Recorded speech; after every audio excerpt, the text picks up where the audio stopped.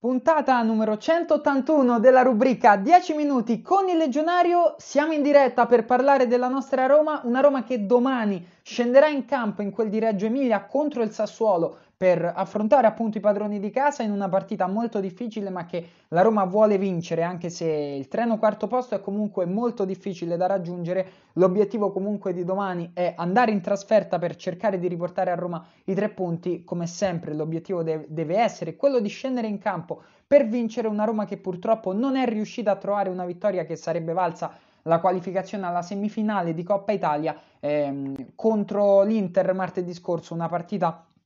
che la Roma, soprattutto nel secondo tempo, aveva in mano, poi purtroppo la qualità dell'Inter è venuta fuori, complice anche un quarto d'ora, il primo quarto d'ora del primo tempo in cui la Roma praticamente non è scesa in campo, eh, diciamo un po' stile derby, delle, stile derby d'andata, partita che la Roma ha dominato per 70 minuti e poi i primi 20 minuti la Lazio ci fece due gol perché la Roma praticamente dormì con un atteggiamento passivo che eh, conosciamo bene che eh, da qualche anno insomma sempre eh, ci accompagna sempre, una Roma che è scesa in campo senza, senza grinta, eh, senza lottare su alcun pallone, per cui l'Inter, che è una squadra che ha una qualità incredibile, è la squadra più forte del campionato e probabilmente si candiderà a vincere lo scudetto, anche se il Milan, vincendo il derby, ha riaperto qualche fiammella di, di speranza, anche se a mio parere l'Inter rimane comunque la squadra più forte con una qualità incredibile sono riusciti a farci il gol dell'ex con Geco, hanno sfiorato il raddoppio in diverse occasioni poi la Roma è venuta fuori soltanto dopo i 20 minuti del primo tempo. Abbiamo avuto una buonissima occasione con Zagnolo, un'altra su cross di Mkhitaryan, mi sembra che era stato deviato da D'Ambrosio. Nel secondo tempo una Roma che ha gestito meglio il pallone, eravamo entrati in una fase della partita prima del raddoppio di Sanchez in cui i giallorossi stavano eh, gestendo bene la palla, Abbiamo avuto anche qualche occasione, penso al tiro di Sergio Oliveira deviato eh, con la parata di Andanovic, anche lì insomma tutti i portieri si svegliano contro di noi, Andanovic che eh, ha fatto molte papere quest'anno e contro la Roma poi si svegliano tutti, ha fatto una grandissima parata il portiere nerazzurro, poi ci vuole anche un po' di fortuna, fortuna che come al solito non è girata dalla nostra parte e poi sul gol di Sanchez secondo me c'è un fallo netto ai danni di Sergio Oliveira, ennesimo torto ai danni, dei, ai danni dei giallorossi, ma questo è un discorso su cui si è parlato moltissimo ed è inutile tornarci. Io dico soltanto che secondo me il giudizio sulla stagione della Roma viene alterato nel momento in cui abbiamo veramente subito tantissimi torti arbitrali, a mio parere. Poi ognuno ha la propria visione, secondo me eh, molte partite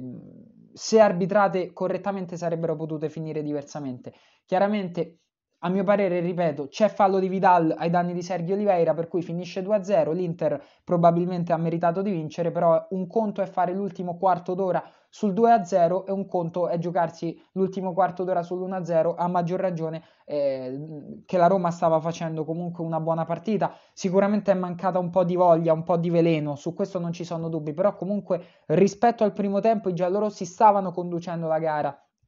Stavamo, fa- stavamo costruendo qualcosa non dico che sarebbe arrivato il gol del pareggio, però qualcosa in più, ecco, diciamo che la Roma aveva comunque le chiavi della partita in mano. Comunque, ormai è finita, l'Inter è passato, eh, giocherà la semifinale il primo marzo, la semifinale d'andata contro il Milan, una Roma a cui rimane...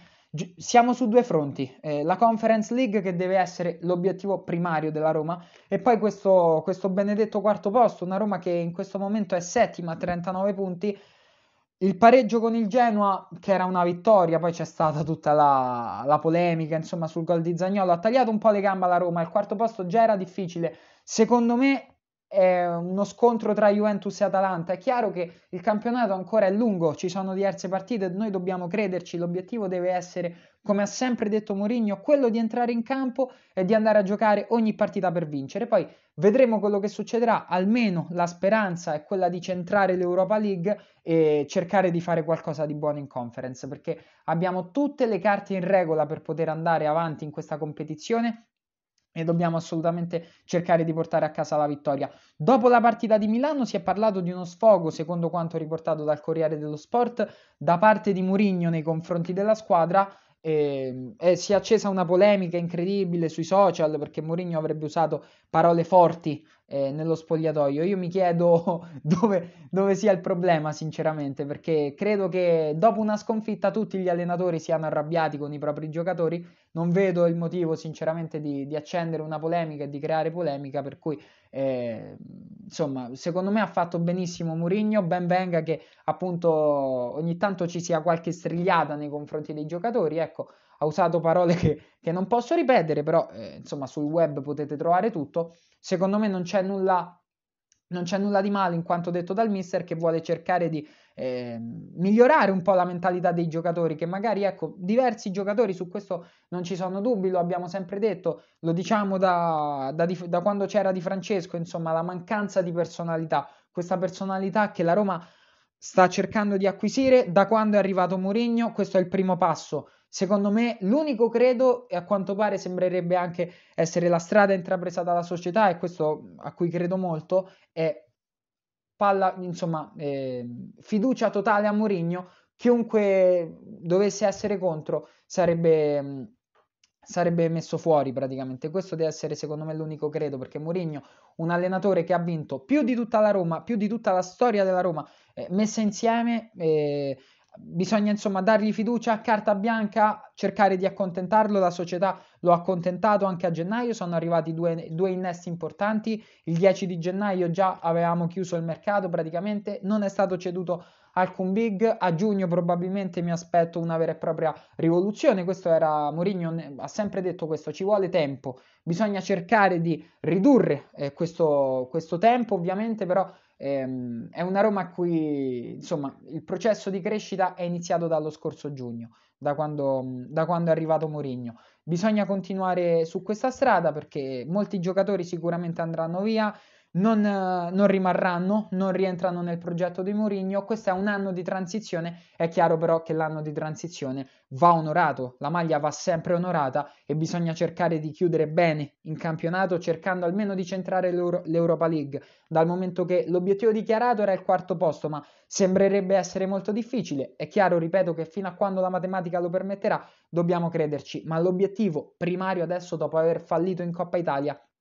deve essere quello di vincere la Conference League. Dobbiamo eh, focalizzare tutte le nostre energie lì, anche perché abbiamo la possibilità. Eh, la Roma ha la rosa, C- c'è qualche squadra interessante in corsa, però dobbiamo assolutamente cercare di arrivare in fondo a questa competizione. Una Roma che affronterà il Sassuolo domani ore 18, Sassuolo che è reduce dalla sconfitta contro la Juventus in Coppa Italia per 2 a 1. Un Sassuolo che è un'ottima squadra, la squadra di Dionisi gioca un ottimo calcio, non sarà facile davanti al loro pubblico. So- settore ospiti sold out, circa 2000 tifosi giallorossi partiranno alla volta di Reggio Emilia e colgo ancora una volta l'occasione per fare i complimenti ai nostri tifosi che sono veramente incredibili quando c'è da, da supportare la nostra squadra e veramente sono pronti a, seguir, a seguirla ovunque come sempre e speriamo appunto che questi ragazzi possano essere ripagati da una vittoria dei giallorossi ovviamente ripeto sarà una partita difficile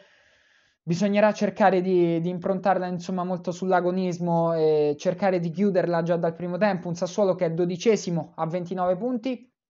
L'Europa è molto difficile per, per gli emiliani, però insomma eh, sognare è lecito, diciamo, sicuramente gli, gli, i neroverdi andranno in campo per cercare di vincere la partita, per cui dovremo stare attenti. Non mi aspetto un Sassuolo che si chiuderà in difesa, anzi, mi aspetto un Sassuolo che, come sempre, da, da tutti questi anni a questa parte, insomma, da quando sono in Serie A, per, per, il modo, insomma, che abbiamo visto da quando c'era Di Francesco, vederli giocare, anche con Dionisi, diciamo che qualcosa hanno cambiato, ma il loro credo, la loro identità non si è snaturata, e cioè quella di non chiudersi in difesa, bensì di qualunque, qualunque sia l'avversario, prendere la, prendere la palla, giocare e attaccare. Il Sassuolo in campionato viene da un brutto 4-0 contro la Sampdoria, speriamo ecco, che qualche contraccolpo psicologico ci sia stato e soprattutto speriamo che il Sassuolo sia stanco perché hanno giocato giovedì loro contro la Juventus, la Roma invece ha giocato martedì contro l'Inter per cui abbiamo un leggero vantaggio dal punto di vista fisico, vantaggio che dobbiamo sfruttare. Abram domani partirà dal primo minuto contro il, ehm, eh, contro il Sassuolo, Pellegrini anche dovrebbe partire titolare, Pellegrini che si è visto eh, negli ultimi 20 minuti contro l'Inter, ha smaltito questa benedetta cicatrice al quadricipite dove si era lesionato il novembre scorso, ha sempre questi problemi purtroppo a questa, a questa cicatrice e Pellegrini è stato fuori più di un mese, è stata un'assenza molto pesante la sua, però domani è pronto a rientrare dal primo minuto. Purtroppo rientra un giocatore, se ne fa male un altro, noi lo sappiamo bene cosa significa, distrazione del legamento collaterale per i Bagnets, sarà fuori 5 settimane, pronto Kumbulla in difesa, ringraziando Dio Kumbulla eh, sta giocando bene, un giocatore recuperato, ecco, eh, de- per cui la cura Mourinho funziona, ecco, si è parlato molto, eh, anche a me personalmente non era piaciuto il modo dopo la partita contro il Bodo Glimt del 6 a 1 con cui eh, Mourinho aveva messo in tribuna praticamente i giocatori che eh, avevano giocato le riserve, tra virgolette. Diciamo che con Bulla alcuni giocatori non sono stati recuperati, come Majoral, come eh, Villar, però diciamo che un giocatore come Kumbulla è stato recuperato perché inizialmente era fuori dalle, dalle gerarchie di Mourinho, lo stesso allenatore ha detto si è allenato duramente, si è messo umilmente a disposizione della squadra e adesso sicuramente credo proprio che domani partirà dal primo minuto dal, e giocherà titolare in queste partite. Dal momento che i Bagnets purtroppo si è fatto male e starà fuori per 5 settimane e ovviamente al nostro difensore Bagnets auguriamo un, una pronta guarigione. Ieri c'è stato un incontro a Trigoria tra Tiago Pinto e l'agente di Mancini e Cristante per intavolare una trattativa per il, per il rinnovo. Mancini si parla per entrambi e si parla di, una, di un prolungamento del contratto con adeguamento ovviamente sullo stipendio fino al 2026 diciamo che le, di solito eh, queste cose si fanno a giugno ovviamente sono incontri di cortesia questi per eh, limare insomma per intavolare una trattativa poi magari chissà tra qualche settimana già arriverà l'annuncio dei, di questi rinnovi. Ricordiamo che Cristante nel 2020 aveva prolungato il suo contratto che attualmente scade fino al 2024 e anche Mancini va in scadenza nel 2024 se non erro. Chiudiamo con la Roma femminile che domani scenderà in campo contro il Como ore 12.30 si parte dallo 0-3 dell'andata, eh, quarto di finale di Coppa Italia che deve essere un obiettivo delle ragazze di coach Spugna, una Roma che in campionato è seconda a 34 punti, a pari punti col Sassuolo, siamo in piena linea con l'obiettivo preliminare di Champions League, ricordiamo che il preliminare lo fa chi arriva secondo e siamo a meno 6 dalla Juventus che è prima, sognare è lecito anche se come ho sempre detto, la Juventus femminile fa un altro campionato, hanno avuto una battuta d'arresto con la Fiorentina.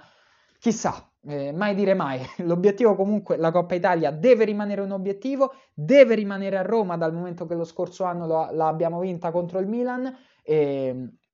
Domani bisogna cercare di centrare la semifinale, nonostante si parta da un ottimo risultato, dal 3-0 di Como, bisogna rimanere concentrate e, mm, e cercare di, di, portare a casa la vittoria. Ecco. Detto questo, ragazzi, ci siamo detti tutto. Io vi invito a seguirci sui nostri social, su Instagram, il Legionario, su Facebook, su Twitter. Mi raccomando, Seguiteci per rimanere aggiornati sul nostro sito www.illegionario.info. Seguiteci sul nostro canale YouTube Il Legionario dove potete riascoltare tutti i nostri podcast. Su Spreaker eh, dove potete riascoltare anche eh, sempre le, tutte le nostre puntate. E niente, noi ci sentiamo settimana prossima. Speriamo di assistere a una grande vittoria della Roma domani contro il Sassuolo. E sempre, sempre, forza Roma. Ciao a tutti.